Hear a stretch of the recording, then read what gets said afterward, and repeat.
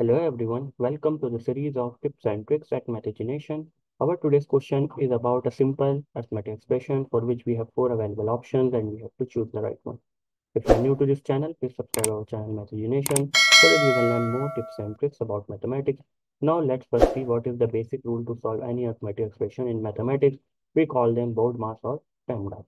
BODMAS or PEMDAS says if you are given any arithmetic expression, solve the brackets, i.e.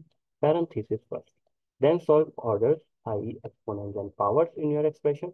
Then solve division, multiplication and addition and subtraction in that way. Remember, BODMAS says do division and then multiplication. PEMDAS says do multiplication then division. Actually, both division and multiplication have same level of preference. What does it mean? It means whenever division and multiplication both present in your expression at the same time, solve that operation first that comes first going from left to right. Now let's see how we can solve our expression using this method. So we have 7 into 3.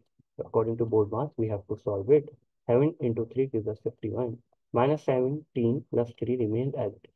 Now 51 minus 17 gives us 34. 34 plus 3 gives us 37. I.e. the correct answer is part C. I hope you enjoyed this one.